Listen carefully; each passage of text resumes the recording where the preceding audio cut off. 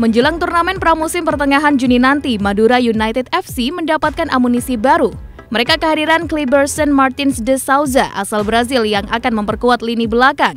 Pemain kelahiran 1992 dengan tinggi 185 cm itu kini telah bergabung dalam pemusatan latihan Madura United di Jakarta. Di Instagram resmi Madura United, Cleberson mengatakan kehadirannya ke Madura United adalah petualangan baru. Kedatangannya di Indonesia merupakan karir pertamanya di sepak bola.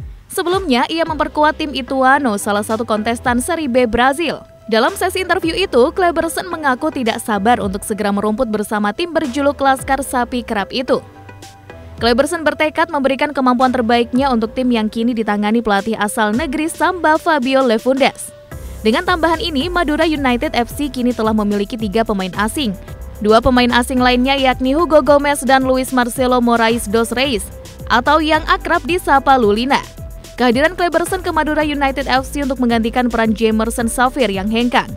Untuk diketahui, Kleberson mengawali karirnya sebagai pesepak bola pada 2011. Karir pertamanya di Serie A Brazil adalah klub Atletico Paranaense di tahun 2014-2017. Setelah itu, pada 2018 ia pindah ke klub Serie B Figueirense. Pada tahun 2019, pemain berkepala pelontos itu bermain untuk Sport Recife dan 2020 untuk klub CSA. Kleberson kembali berkiprah di Serie A Brazil pada 2021 bersama klub Juventude. Lalu pada 2022 ia pindah ke klub Serie B Ituano sebelum akhirnya ke Madura United FC.